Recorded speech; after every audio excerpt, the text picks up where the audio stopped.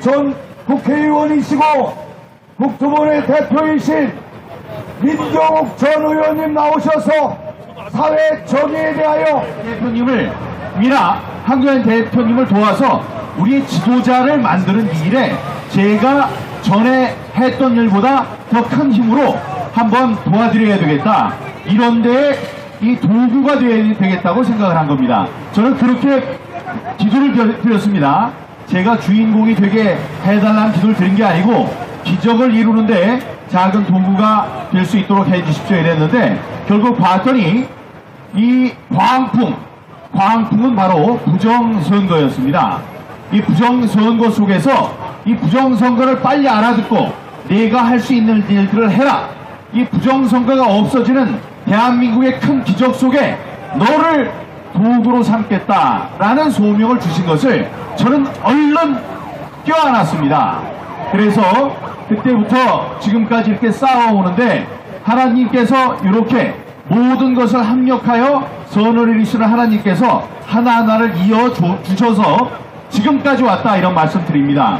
전에는 전에는 부정선거 얘기하면 뭐 미친 소리 한다고 그랬어요. 미친 소리 한다고 그랬는데 지금은 최근에 여론조사를 했더니 32.3%가 지난 4.15가 부정선거였다라고 생각을 하는 것으로 나왔고 내가 우파입니다 라고 생각하는 사람들 중에서는 무려 54% 과반수가 아, 이번 저4.15 때 부정선거가 있었습니다 라고 믿는 것으로 나왔습니다. 그러니까 그 자체가 기적이죠. 이제는 더 이상 부정선거 문제가 소수의 목소리가 아니다. 이런 말씀 드리, 드리겠습니다. 여러분, 감사합니다. 예, 박수를 더 크게. 예. 여러분, 지난 4.15 선거를 자꾸 얘기하지 않겠습니다. 그거는 제가 잘 싸우면 돼요. 지금 돈도 많이 들고, 노력도 많이 들고, 힘도 들고, 경찰 오라, 검찰 오라, 재판 받아라, 너무 힘들어요. 하지만 제가 스트레스에도 강하고, 이 체력도 강해서 잘 이겨낼 수 있습니다. 지금부터 제가 드리는 말씀은 저를 위한 게 아니에요. 우리 정권 교체를 위해서 제가 아는 것을 말씀드리는 겁니다. 대선에서는 부정선거가 있을까요? 없을까요? 있습니다.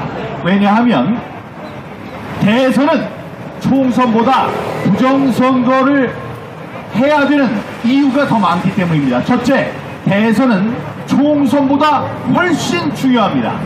그렇기 때문에 이들은 부정선거, 자기네들이 아는 부정선거의 수법을 써먹을 것입니다. 또 하나, 지금까지 부정선거를 저지른 부정선거의 주범들은 정권이 교체되면 다 죽습니다. 1960년에 3.15 부정선거가 있었을 때 최인규 내무부 장관이 교수회에 처해졌어요. 근데 그거는 언제였느냐? 4.19 혁명이 있고 5.16 혁명이 있은 다음에 정권이 바뀌어서 또 이런 그 주체가 바뀌어서 저 어, 심판을 당한 것입니다. 그렇기 때문에 이 사람들은 알아요. 지난 몇 번의 선거에서 부정을 살살 저질러 왔던 사람들, 4.15 부정선거를 저질렀던 사람들은 만약에 정권이 바뀐다면 자기네들의 목숨이 사한 목숨이 아니라는 것을 압니다. 그러니까 어떻게 해요? 부정선거를 이용해서 정권이 바뀌지 않도록 해야 합니다. 그래서 그 정권 교체, 아니, 이 부정선거의 기술자들이 지금 다 누구 밑에 가 있습니까? 이재명 밑에 다 가 있습니다. 이재명 밑에 가 있어요. 이재명을 도와서 이재명이 정권을 잡도록 해야지만 자기네들이 목숨을 부지할 수 있다는 걸 안다. 그렇기 때문에 대선을 저질 것이다. 이게 두 번째 문고요. 세 번째, 대선은 총선보다 부정을 저지르기가 훨씬 쉽습니다. 왜 그러냐? 지역구 253개 지역에 국회의원을 뽑는 거는 투표용지가 253개 종류가 있습니다. 그래서 부정선거에 자- 잘못된 표를 만들려고 해도 253개를 차곡차곡 만들어야 돼요. 하지만 대선은 투표용지가 하나입니다. 전국이 똑같아요. 그래서 이번에 나온 것 같이 일장기 투표용지나 배충입 투표용지 같은 불량품이 나올 무- 이유가 없습니다. 이거 여기저기다 막히다 보니까 이상한 게 나왔지만 이번에는 다 똑같으니까 한 인쇄소에서 쫙쫙 찢어가지고 갖다 주면 되는 거예요. 그렇기 때문에 더 쉽다. 더 쉽기 때문에 부정선거를 저지를 것이다.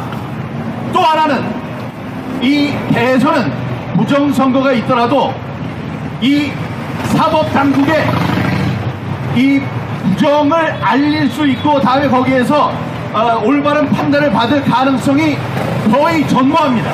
제 지역구에서 저는 2893표 차이로 졌어요.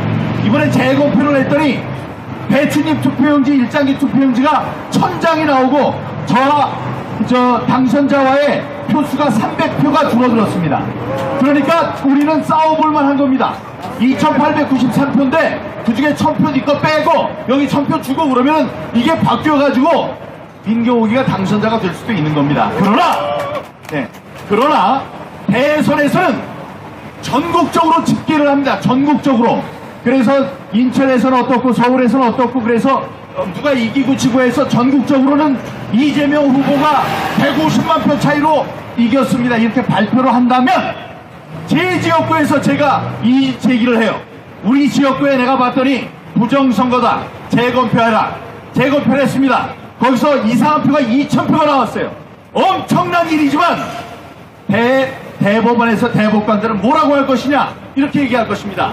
여기에서 2,000표가 나왔지만 2,000표를 다 가지고 가더라도 전국에서 나타난 200만 표의 차이를 극복할 수 없기 때문에 기각 이유 없다 이렇게 될 게 뻔합니다. 방법은 뭐냐 전국에서 다 재검표를 해야 돼요. 그런 일은 용납되지는 않습니다. 그러기 때문에 부정선거를 하는 자들은 난리 났다. 아주 좋다. 신, 이제, 이제 신나가지고 부정선거를 할 것이라는 것입니다. 자 그러면 이런 얘기를 들으면 너무나 속이 상하실 거예요. 하나만 하네 이번에 부정선거를 하면 아니 미국의 트럼프 대통령도 고꾸라졌는데 부정선거를 이길 사람이 어디 있어? 이렇게 생각하시겠죠? 그러나 방법은 있습니다. 여기 대각성 국가 대각성 같이 국민들을 각성시키는 거예요. 모르던 것을 알게 하는 것입니다. 부정선거가 있을 것이니까 우리의 감시의 눈을 더 날카롭게 하자 해서 사람들을 보게 해야 돼요. 그것을 위해서 후보가 할 수 있는 후보가 2월 14일 날 정해집니다. 2월 14일 날 정해진 그 후보가 해야 되는 일들이 있습니다. 첫째, 부정선거를 막을 수 있는 공약을 발표하라. 여러 가지가 있죠. 사전 선거 없애고, 전자개표기 없애고, QR코드 없애고, 지금 판사들을 저 선관위원장으로 하는 그 제도 없애고, 다음에 법정 최고형으로 부정선거법을 다루고, 이런 공약을 해야 됩니다. 두 번째, 후보의 목소리로 부정선거가 있으면 안 됩니다, 여러분! 이라고 이야기를 해야 됩니다. 예, 부정선거를 위해서 제가 싸우겠습니다. 그런데 그런 후보의 입장에서는 어떤 위험성이 있느냐 이거 내가 괜히 얘기했다가 민경욱 같은 또라이로 찍히는 거 아니야?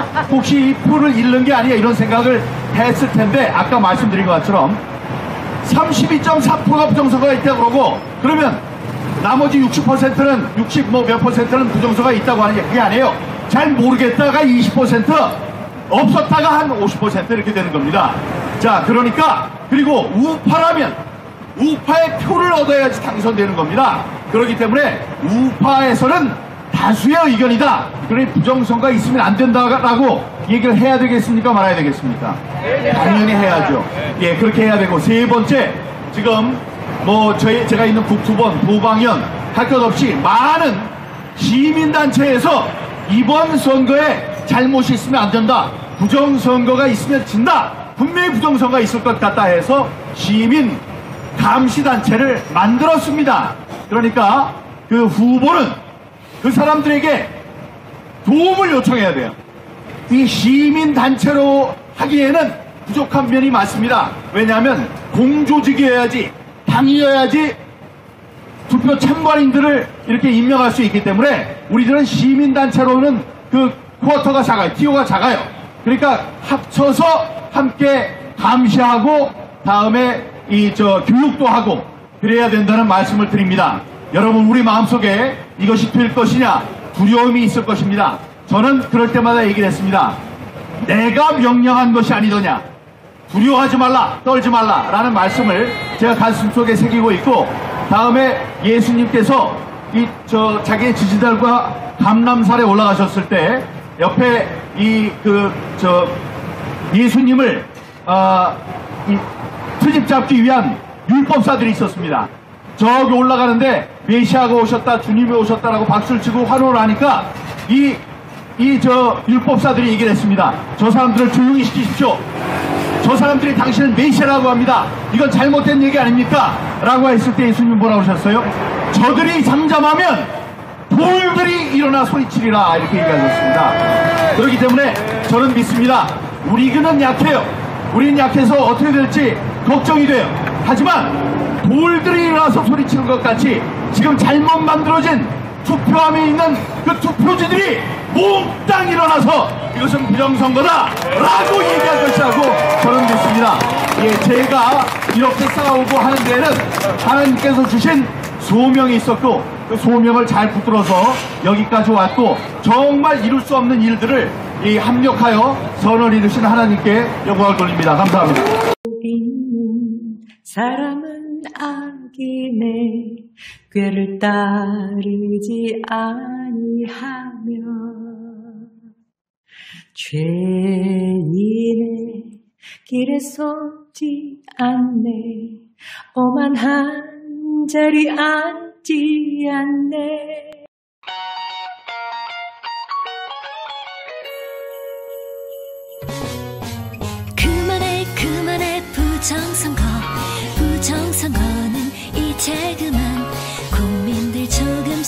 눈치채죠 부정선거 있었다